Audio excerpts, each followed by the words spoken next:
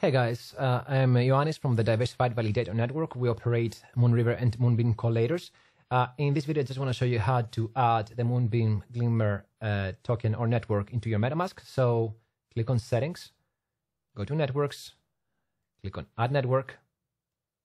Uh, you're going to find the details in the description below. And so just copy paste Moonbeam in there, the RPC URL, the chain ID, the token name or currency symbol, and the block explorer, and click save.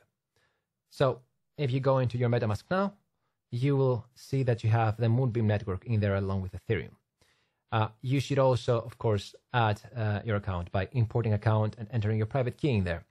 Remember that this is the account where you chose to receive your crowdloan rewards. So if you go to this uh, website, crowdloan.moonbeam.foundation, and you click review contribution, uh, and you just uh, enter your Polkadot address in there uh, and review contribution, you'll get the public address of the account that you used, which is where you will receive your Glimmer rewards.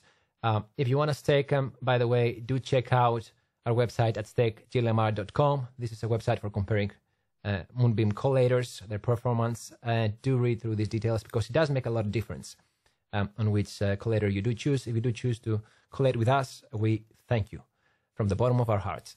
Um, so yeah, that's it for today. Thank you very much.